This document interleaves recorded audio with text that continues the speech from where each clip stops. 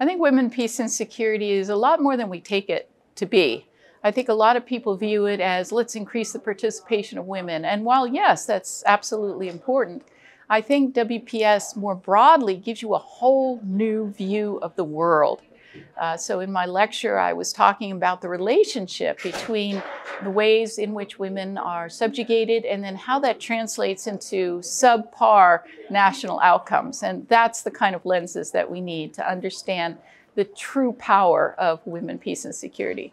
These types of events are crucial.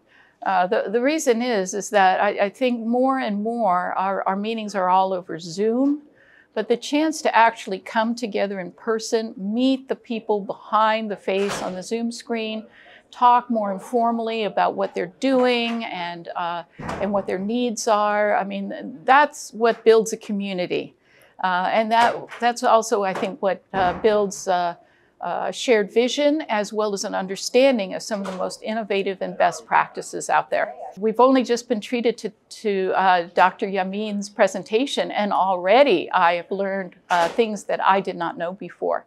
Uh, and so uh, the various uh, nations that um, allow women in combat as versus those that conscript women. I've never seen such a nice compilation of data before in one place. And so even though we're, we're only uh, an hour or two into the symposium, I've already got notes.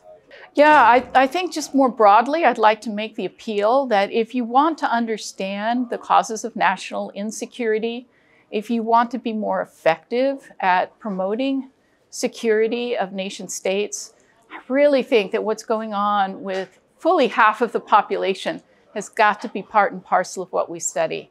We need to understand these linkages to have the best situational awareness that we can and to understand how ameliorating the situation of women may have follow-on effects to many of the things we care about.